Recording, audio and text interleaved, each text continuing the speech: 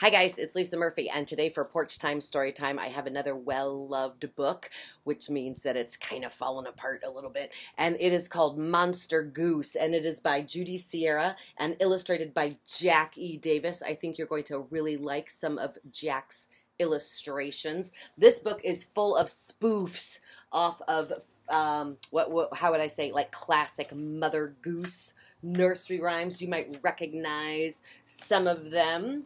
Here is the first one.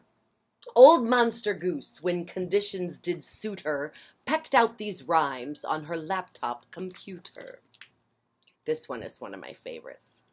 Mary had a vampire bat. Its fur was black as night. He followed her to school one day and promised not to bite. She brought him out for show and tell. The teacher screamed and ran, and school was canceled for a week, just as Mary planned. Some of you have been out of school longer than a week. Corpus McCool, the clumsy old ghoul, was interred near the gardens at Kew. He lost his head in a cabbage bed, but it later appeared in a stew. Sometimes kids like these, but adults not so much. Little Miss Mummy lay on her tummy, smoking a big fat cigar. A very large spider resided inside her. She kept all her guts in a jar. This one, the words are all over both pages. It says, one, two, learn to say boo. Three, four, walk through a door. Five, six, Oh, it says play mean tricks. Look, I don't know if you can see that. But he was looking through binoculars and somebody put ink on it. Five, six, play mean tricks. Seven, eight, levitate. Nine, ten, scare the feathers off a hen. I live in Florida where it's really hot, so this one's kind of funny. Humpty Dumpty swam in the sea. Humpty's sunscreen was SPF 3. Because he was so lightly oiled, dear Humpty ended up hard boiled. He did not have enough sunscreen on. Pirate Pete. I have not had a lot of practice reading this particular one.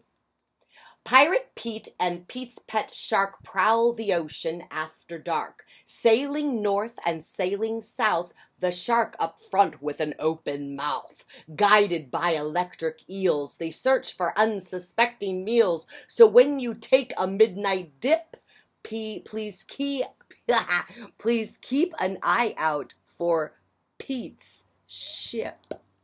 That is like a tongue twister. Oh, this was one I used to read all the time. Rub-a-dub-dub, three fish in the tub. And what do you think they do? Well, because they're piranhas with very poor manners, they hide and wait for you. Jill and Jack. Jill and Jack went to the lock to fetch a pail of water. Jill took a swim. Events turned grim the famous monster caught her. Do you know who that famous monster is? Have you heard of the Loch Ness Monster? There was an old zombie who lived in a shoe. She had so many maggots she didn't know what to do. So she soaked them in soap suds and painted them green, and she'll be giving them out next Halloween. Oh, this is, I love this one.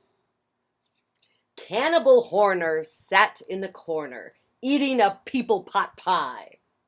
He bit his own thumb and cried out, Oh, yum yum, what a tasty young morsel am I. Mm. Look at her screaming face. Pussycat, pussycat, where have you been? I've been to London to torment the Queen. Mean little pussy cat, what did you there? I put a wee mousie in her long underwear. this is about weird Mother Hubbard. Maybe you've heard of old Mother Hubbard. Weird Mother Hubbard went down to the graveyard to fetch her poor doggy a bone. But that bone was the toe of Skeleton Joe. When she took it, Joe followed her home. So she went to the tailor's to buy Joe a coat, but when she came back, he was shaving a goat. She went to the hatter's to buy Joe a hat, but when she came back, he was painting the cat. She went to the baker's to buy Joe some bread, but when she came back, he was juggling his head. The dog said politely, The guest must go. So weird Mother Hubbard said, Take back your toe. Billy Bryant met a giant going to the fair. The giant growled at Billy Bryant. Would you like a scare? Said Billy Bryant to the giant, That would not be fair. The last three giants that I scared are in intensive care. Jack Sprat. Jack Sprat ate some fat and drank some gasoline. He lit his pipe and in one pipe invented lean cuisine. I don't know if you might get that or not. This one you might want to sing like a song if you know the words. Hush, little baby, don't you cry. Do you know that one? Hush, little monster, don't you whine. Papa's gonna give you to Frankenstein. If you and Frank. Oops, I missed it up. Let me start again. Hush, little monster, don't you whine. Papa's gonna give you to Frankenstein. And if you and Frank can't get along, Papa's gonna send you to old King Kong. If you don't like that big gorilla, you might prefer his friend Godzilla. If giant lizards make you scared, maybe you'll be happy with a grizzly bear. And if life in a bear cave isn't fun, why not go visit an alien? If flying through space upsets your tummy, just come home to your papa and your mummy. Hmm. This one is a really big tongue twister. Slithery, slithery dock. Slithery, slithery dock. The snake slid up the clock. She soon got bored and bit the cord. It gave her quite a shock. The snake began to quake and the clock began to rock. At half past four, they struck the floor. Smashery, quackery, dock. Can you see all of that in there? I like the picture of the snake biting the cord. There is a hungry boggart. There is a hungry boggart living somewhere near my bed. He gobbled up the sheets and he munched the pillows neath my head. He nibbled my pajamas and he swallowed all my toys. I'm really quite relieved he has an allergy to boys. That means he won't get it. Hmm. Young King Cole was a terrible troll. He washed his feet in the toilet bowl. He brushed his teeth with turpentine and combed his hair with a porcupine. Look, I got a sticky because it's the one I liked to mark because the kids like to read that one.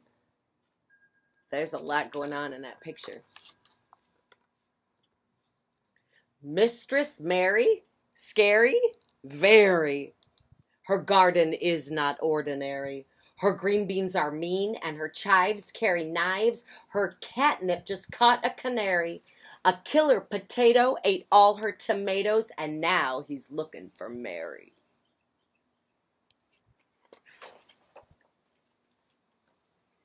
Look at his face. Look what he's doing. Sing a song of sea slime. Sing a song of sea slime, sewer glass, sewer gas. Hold on, I'll start again. Sing a song of sea slime, sewer, gas, and sludge. Four and twenty wharf rats dipped in mocha fudge. When the dish was served, it scampered out the door. Dessert has fled, the poor king said, so I guess I'll lick the floor. Ooh, look, see all those rats. the itsy bitsy spider climbed up the warthog's snout. The warthog grabbed a hanky and tried to blow him out. The little bloke was blasted all the way to Spain, so the itsy bitsy spider did not go up there again. I think is this the last one? Oh no, there's there's three more. I bet you can guess which one this is. Werewolf Bo Creep has lost his sheep and doesn't know where to find them. But they're vampire sheep, and right now, as he sleeps, they're sneaking up behind him. Hmm. Twinkle, twinkle, little star. You know that one, right? This is Twinkle, Twinkle, Little Slug. Twinkle, twinkle, little slug, crawling on my bedroom rug. In my sister's sock you go, wrap yourself around her toe. Won't my sister love you so? Twinkle, twinkle, little slug, crawling on my bedroom rug. Look, it's now she's putting her foot in there. Oh man the Mungery Man.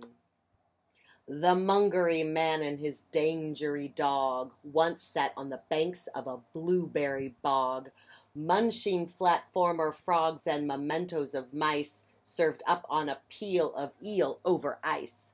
They sang Wabazoo, such a feast for us two, as they slowly dissolved in the blueberry goo. And that is the end of this collection called Monster Goose, and I hope you liked it. So that's today's Porch Time Story Time. I will see you tomorrow with some more books on the porch. I hope you had a really good day. I'll see you tomorrow. Bye bye. Gotta turn the button off.